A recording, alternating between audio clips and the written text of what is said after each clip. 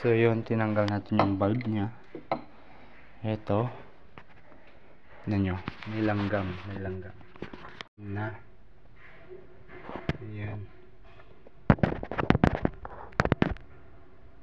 Hmm. Okay ba?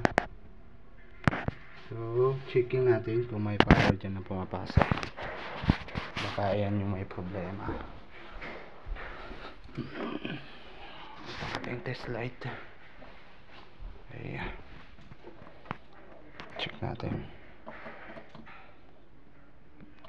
Walang power.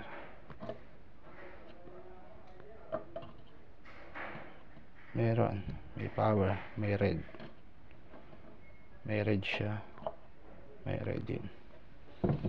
So, bakit hindi ilaw tong bulb na to?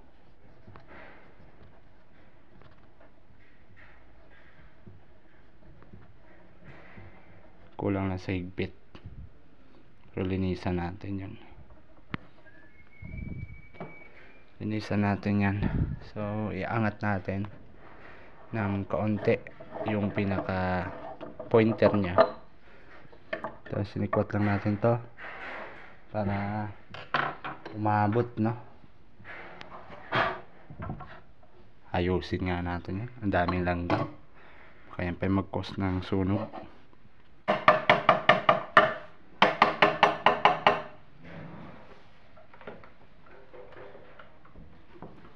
idol sobrang daming langgam kanina no? Ayan. Ayan. Okay malinis na. Ito maraming langgam ayan. So ayun. Kasi hindi maiwasan talaga pag mga ilaw. So meron niyang mga malilit na mga ano insekto. So balik na natin to. Doon sa kanyang pwesto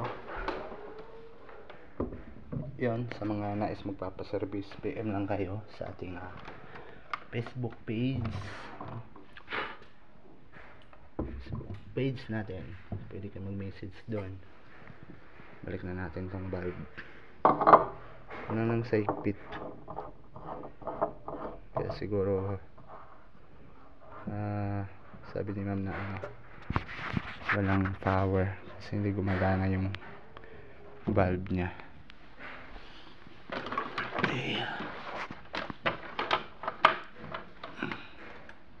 Yan okay may liwanag na siya. Tayo ang liwanag ng tahanan